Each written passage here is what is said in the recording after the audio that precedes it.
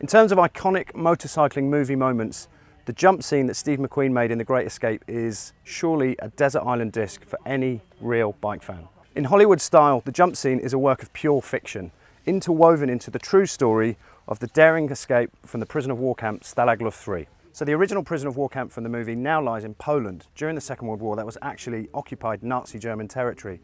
The jump scene, however, was filmed here. I'm about six miles west of a tiny town called Fussen, down on the border between Germany and Austria.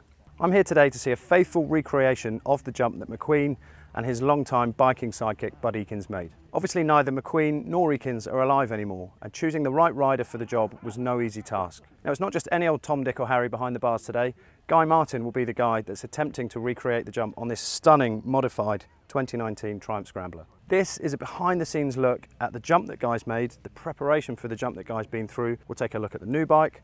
We're going to talk about the old bike. So this is Dick Shepherd. Dick, you own Please, this bike. I am the custodian of it. So this bike is, there's a couple of things to talk about, isn't there? A, a, the fact that historically the bike was too new to be of the era that the film was, was set in. Well, yeah, the, the, the reason for um, this this bike to be used in the film and the other two bikes was because Bud and uh, Steve. Ardent Triumph They were. fans. They, they, they, they, Bud was a, a big Triumph dealer at the time, probably the biggest one in the world. Yeah. And they would not use any other bikes. Yeah. They loved the bikes. They used to desert race them together, and um, they knew the bike would do the job. Modified slightly, isn't it, from, from an original TR6, which is what this is? Yeah, there's very, very, very slight modifications. It's mainly the suspension that's been altered. This has got what they called sidecar dampers on the back, and So super springs. stiff. Everything's yeah, stiffer. sli- yeah, slightly stiffer, Yeah. obviously for the landing.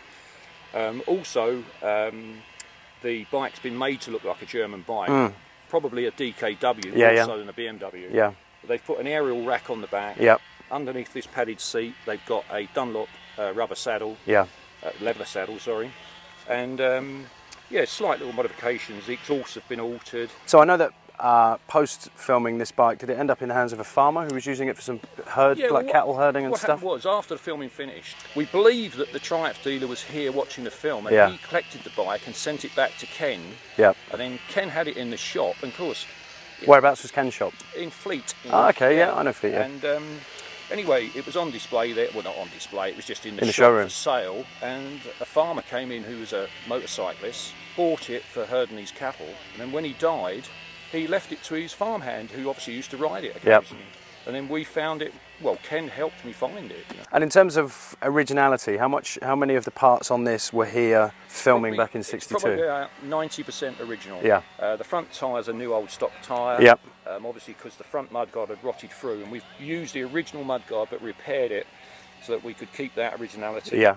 The tyre is original tyre. Well, that's the tyre from the movie. That's the tyre from the movie, and that tyre is. So if I kick that tyre, that's me kicking the same tyre as Buddy Ekins and Steve yeah, McQueen.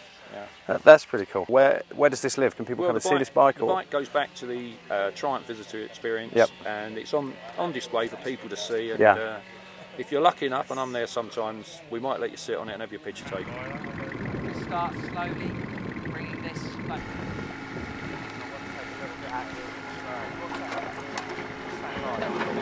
All right, boy. Yeah, mate. How's you it all going? right? Yeah, I'm all right. Yeah, Anthony you for a bit. Picked a good day for it. Browner, it? Yeah, it was shite yesterday. Excuse my language. We're out swear. like. Yeah, crap weather yesterday, mate. Yeah, we've come here today. They said, right, we'll maybe do a jump yesterday um, for the film. Yeah.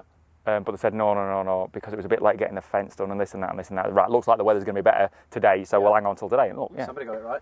mint job, eh? Yeah. Hey, out in the back of Bavaria, mate. What a day for it. Let's What go a all day. the way back to the start with the idea. Where did that come from? Whose idea was it?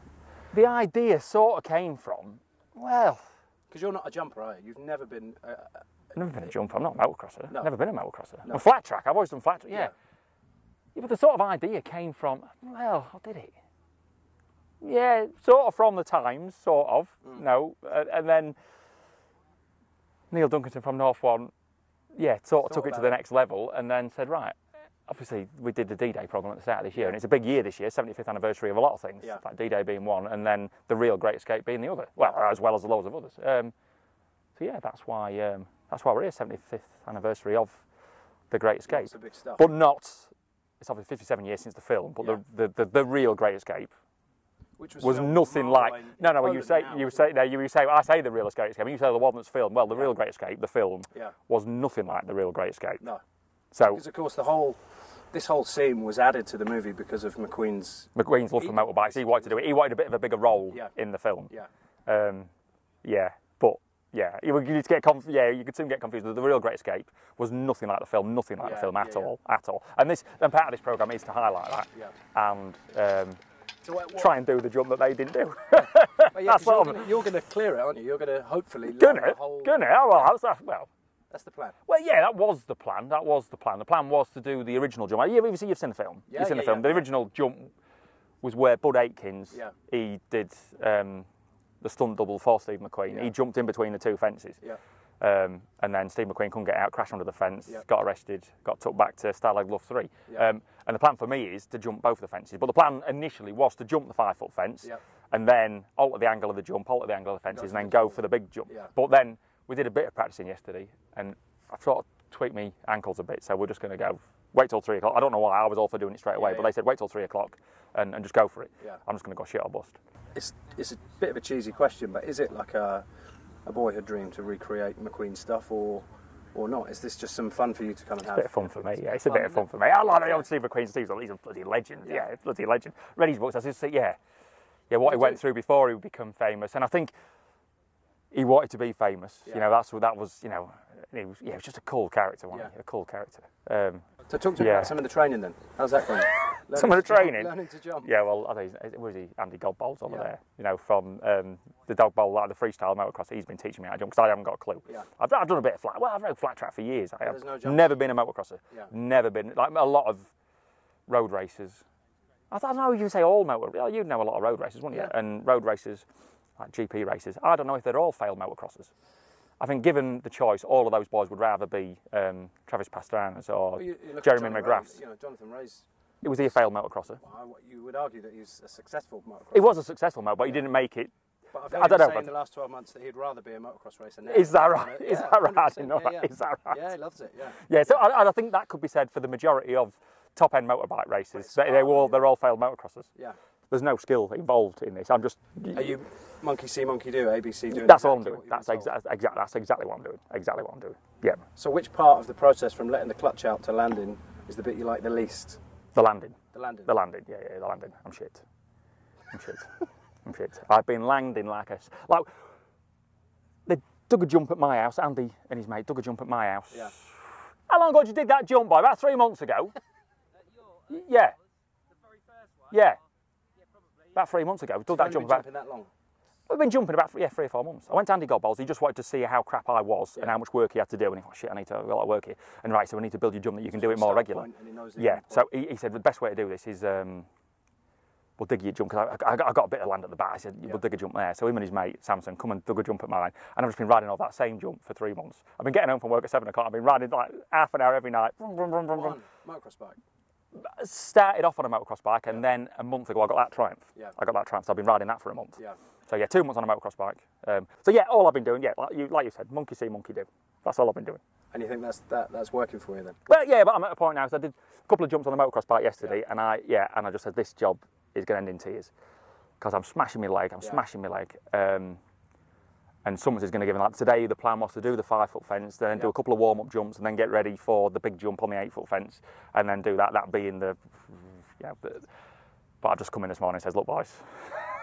She's not because that ankles. Hey, I've not. I mean, you know, Yeah. no one's it, dying here.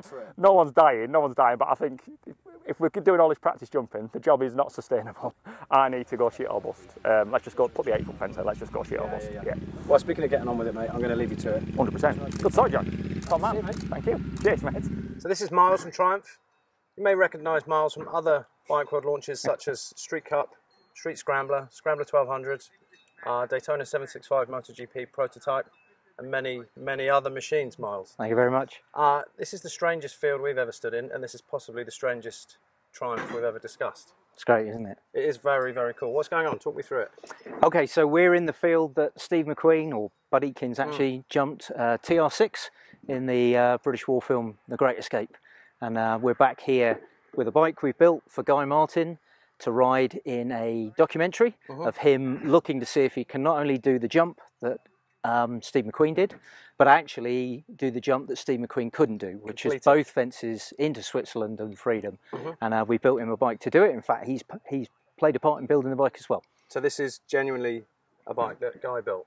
Yeah, not in its entirety. We Yep. started with a with a Scrambler 1200 XE, and Guy and our chief engineer Stuart Wood Yep. spent a happy few hours taking off a few bits and pieces, um, uh, mass optimization, taking a little bit of the higher weight off, Mm-hmm. Um, and even Guy did some um, some of the painting. Yeah. Yeah. It's interesting down there. Apparently there's about 20 kilos has been shaved out of that bike. Is that right? A little bit more, I think. Yeah. Actually, um, yeah. And the original bike was about 166. Yeah. And uh, this isn't madly over that, frankly. Yeah. So in terms of the weight saving, you know, we've, we've covered how much you've taken off the original bike, but I think you've also removed the uh, a lot of the rider modes Yeah. and traction control and electronic safety or rider aids that, the, Yeah. that an original Scrambler 1200 would have. Yeah. So it's basically permanently programmed in the off-road pro Off-Road mode Pro.